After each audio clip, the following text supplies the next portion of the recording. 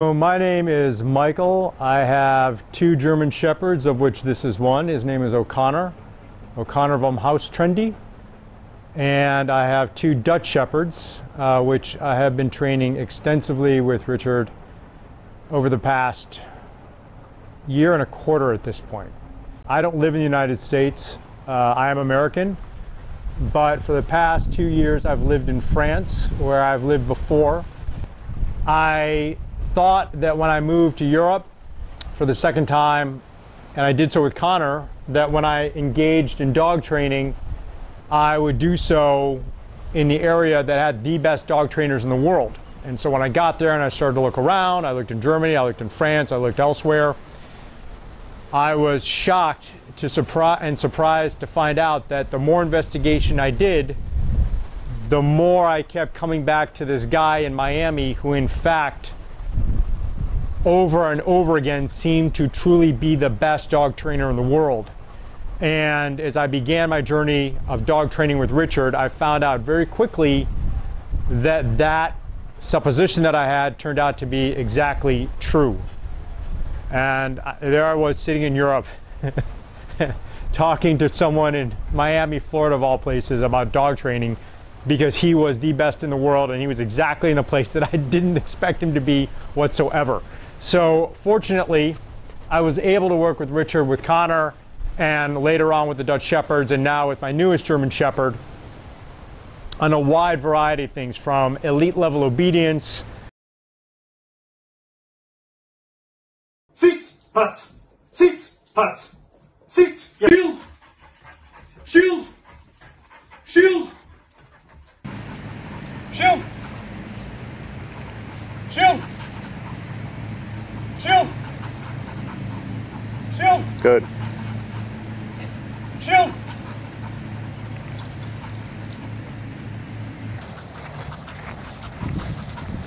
Put! Yes. Put! Feet! Put! Finish! Front! Finish! Front! Put! Seat! Finish! Yes! Good! Here! Front! Finish! Front! Center! Front! Finish! Shield! Front! Center! Front! Yes! Good!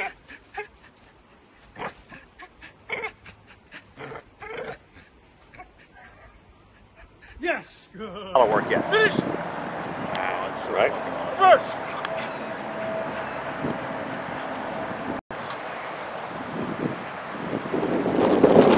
Right, see? So it's all based on the That's Center! good. Front! Finish!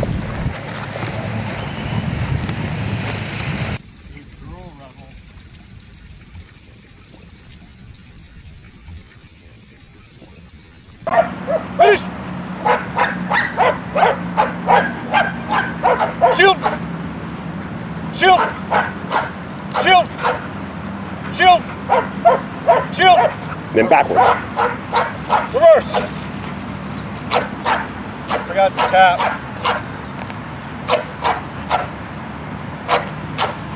Tap her a little bit. Keep going back. Straight back. Because if you do too much of that, good. Then give her.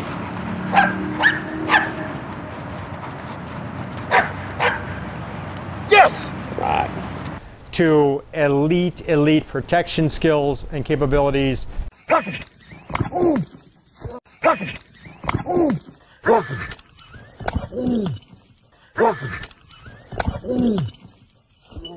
man.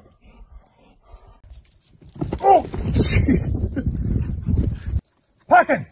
Oh! God! Oh, man. Oh, shit! Oh! Oh! Woo! Pass out! Good. Pass out. Pass out. Pass out. Pass out. Pass out. Pass out. Richard, pocket. Oh, shit. God damn. Revere.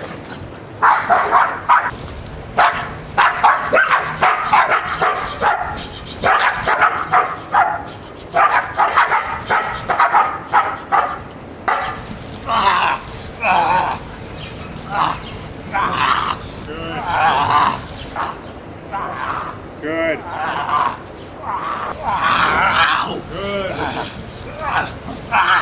Good, Rebel. Good. House.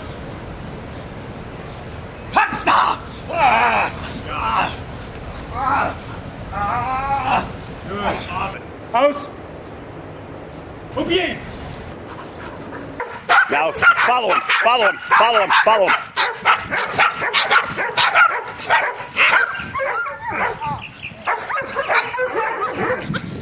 Tap the stick, tap the stick.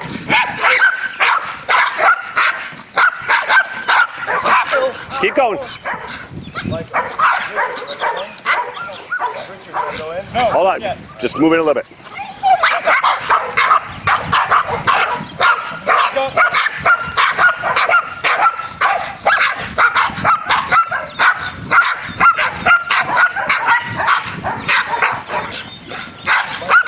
All right, move in a little, Aaron. Move in.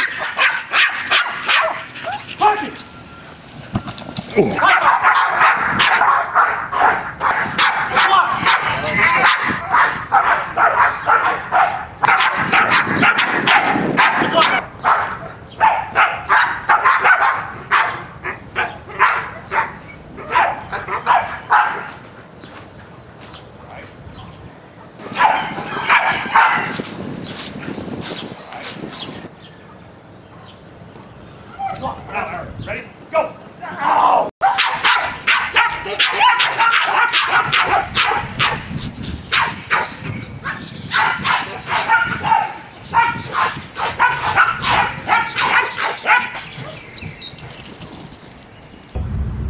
Guard. Good. Good, Rebel. Good. Her first time from the backpack. Mix it up.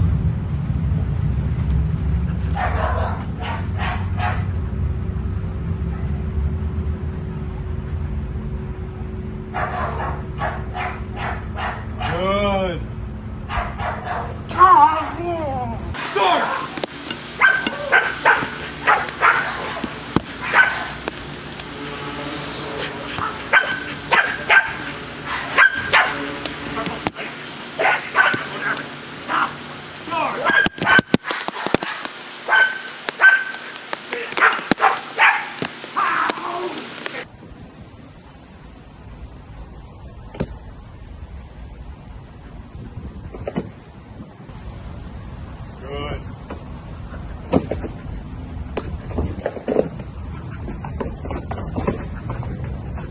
To the other end. and Check that out. I can't get to it.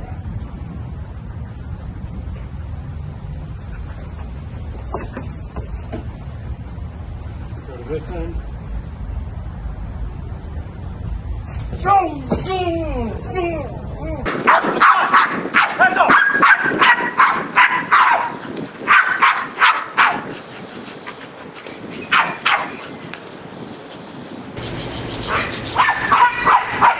Ready? Go, Aaron!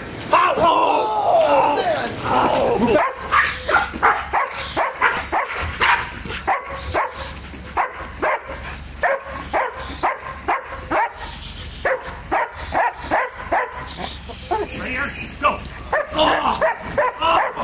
And then more to come in the way of service dog training and search and rescue. Pull. There you go. Yes. That. Next. Next. Come on. Pull. Yes. Good boy. Yes. Good boy. Pull. Good boy. Yes.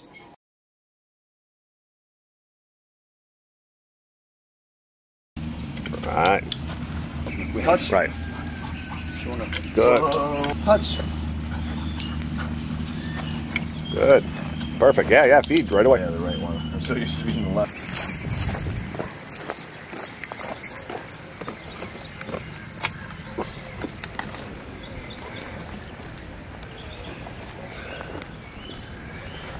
All right. Max. Ready? You ready? Search.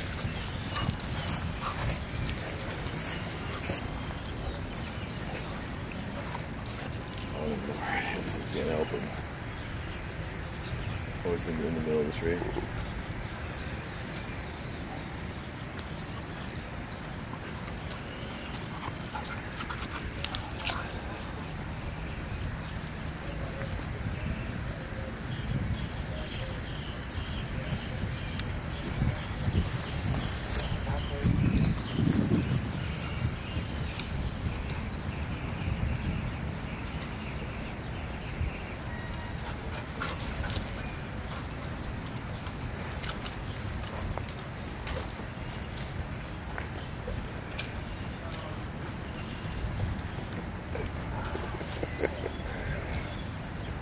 Good boy.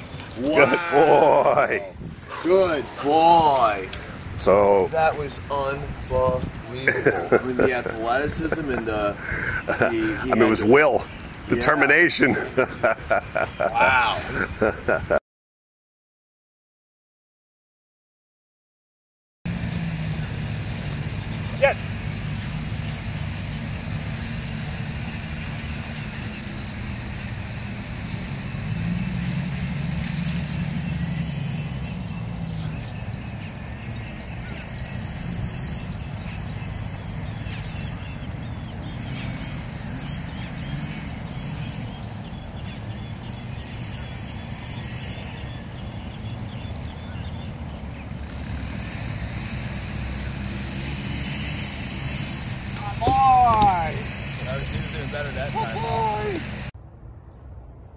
Okay, action.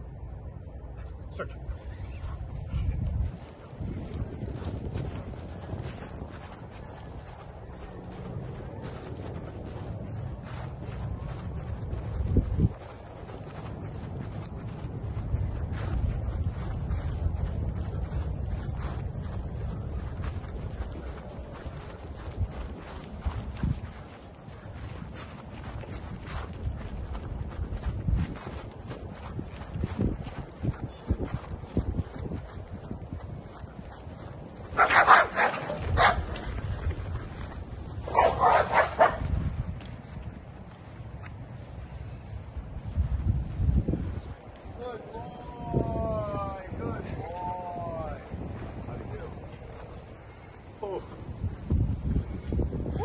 Horrible.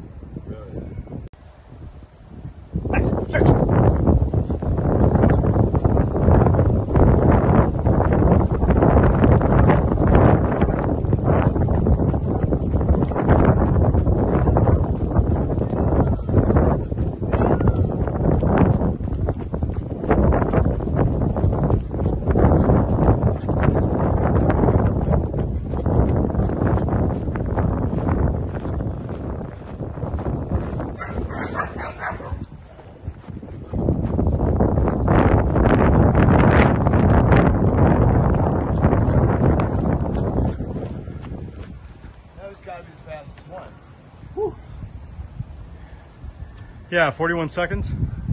So it's been a very convoluted journey. It's been a very exciting journey. It's been a very emotionally volatile journey.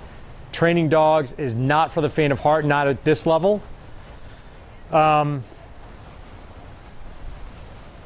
and it's not been something I would trade for anything else. I've done a lot of other things in my life that are very adventurous and very um, demanding, and this has been one of the most adventurous, one of the most demanding, uh, probably the most emotionally volatile in terms of the highs that you feel when things go right and the lows and frustrations that, you feel when things don't go right.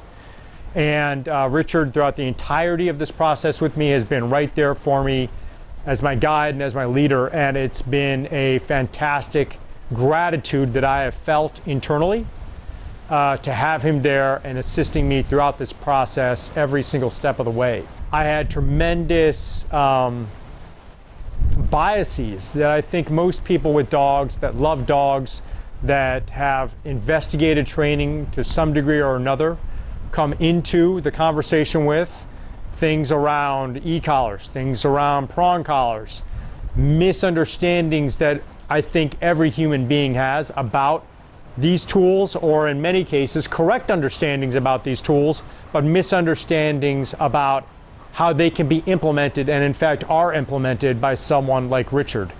I don't know if there's anyone else in the world that uses these tools in the way that he uses them, but the way that I've been taught to use them has been exactly the opposite of what I thought that they were intended for, exactly the opposite of the results that we achieve with them and exactly the opposite of what I think everyone thinks about when they think about these tools. At least I know that it's the opposite of what I thought.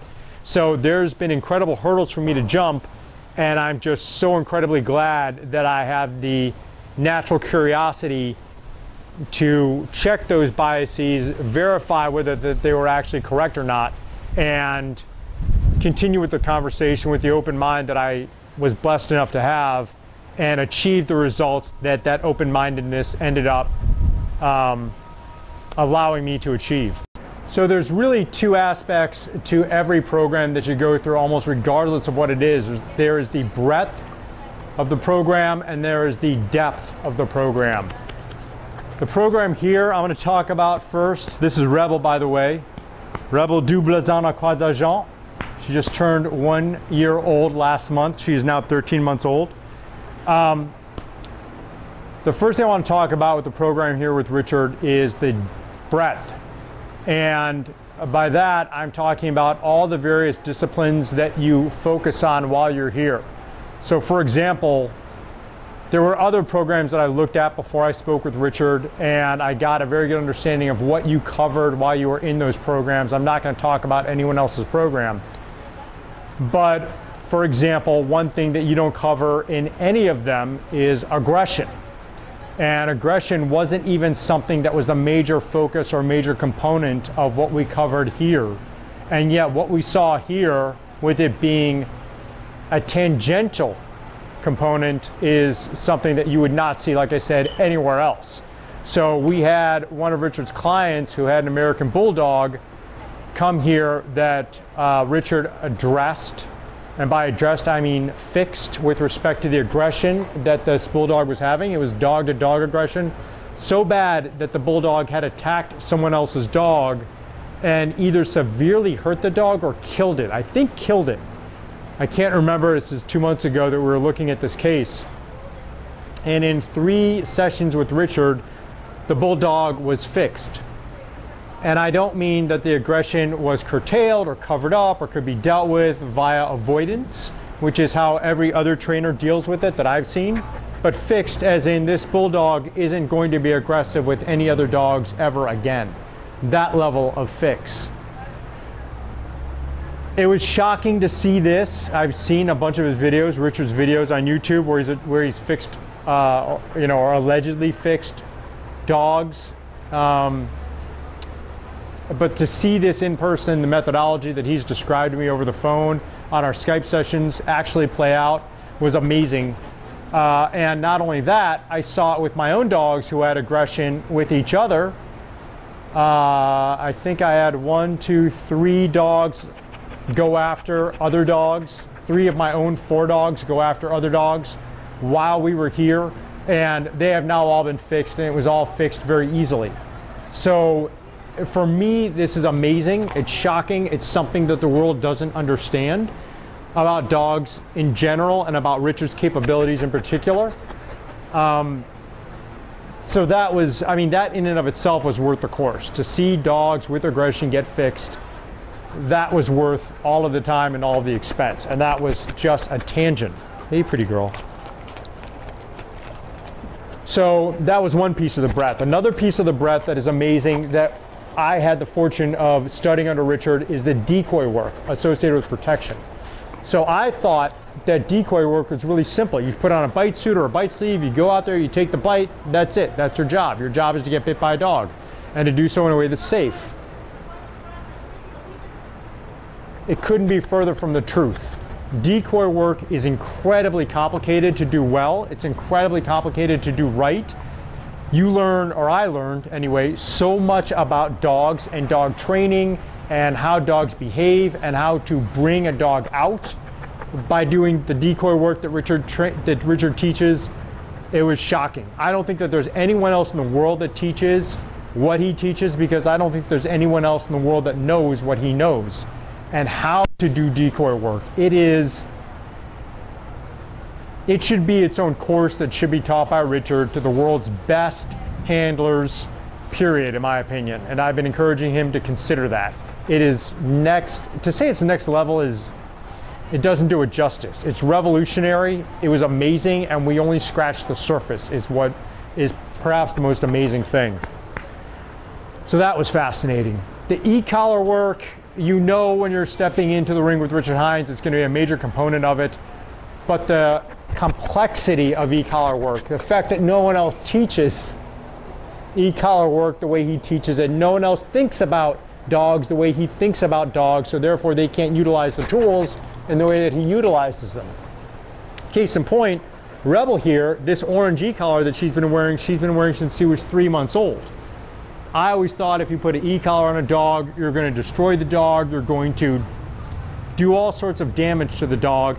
The reason I thought this is because undoubtedly this happens. But this does not happen with Richard.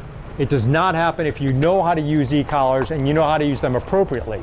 As you can see, she's 13 months old, which means she's had 10 months of e-collaring and she's anything but destroyed, anything but exhibiting a lack of spirit and anything but lack of affection. And she's had the e-collar basically her whole life since she was three months old. So again, speaking to the breadth of experiences that you get here. Obedience, not like anyone else's obedience. One of the most amazing things I learned here is just how important it is for the trainer to have a certain energy and approach to dog training. I can't I can't state it enough whether you're doing luring with treats, e-collar work, obedience, protection, whatever you're doing. Good girl. Hup. Good girl. It doesn't matter um, who you are as a trainer, the energy you embody, the approach that you take, little tiny things that you do.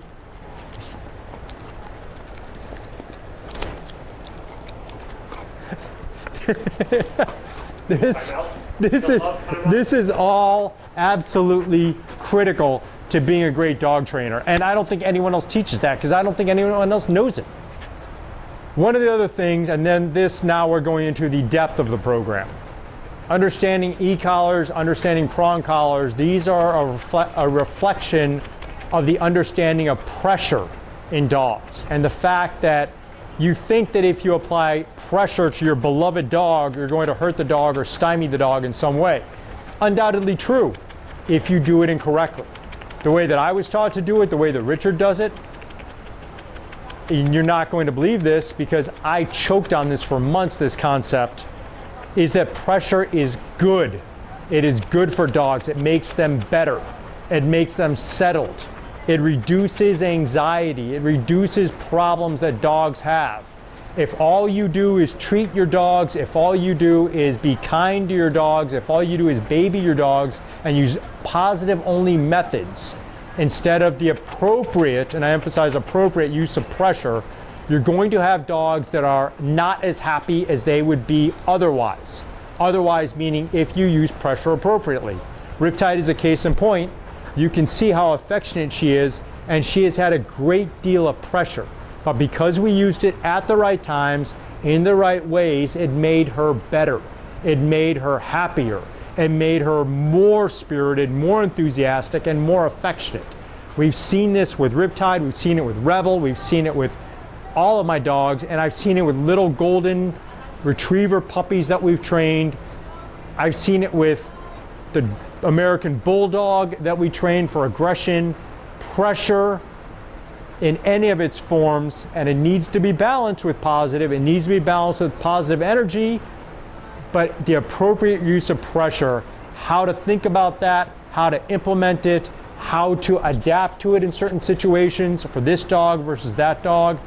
The depth of that has been unbelievably fascinating and completely counterintuitive and counter to what everyone in the world, including myself formerly, thinks about utilizing pressure in dog training. As you can see, no affection problems here. So that, again, speaking to the depth, has been fascinating, and I don't think anyone else teaches that. I don't think anyone else knows it. Certainly not anyone else that I've talked to. So as I walk away from this, today is the second to last of the days of the three-month program. One thing that I know is that I know and have learned more than I'm even aware of right now. And all of that is going to be cementing in my mind over the course of the next weeks and months. And I was oversaturated for the first couple of months while I was here, and it has all been coming together in the last several weeks.